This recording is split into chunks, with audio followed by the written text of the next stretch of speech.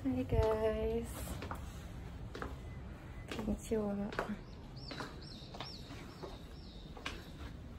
So, pupunta kami ngayon sa Yokohama para mag mamasyal because Golden Week today. So, samahan niyo ko.